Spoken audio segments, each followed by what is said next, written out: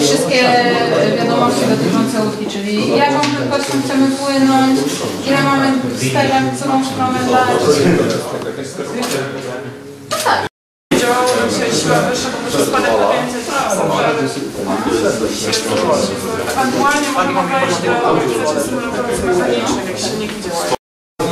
Przed nimi urządzeń łączności i oni komunikują się w układzie rzeczywistym z jakimś tam drugim instruktorem, podając potrzebę, taką czy inną, jaka potrzebuje danego symulator silnika wolnoobrotowego napędu głównego.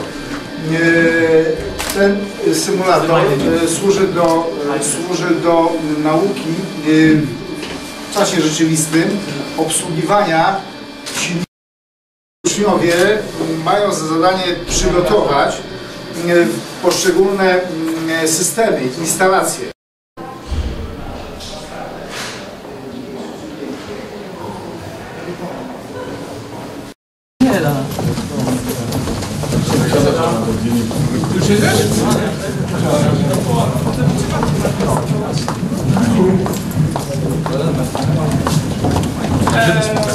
Спасибо.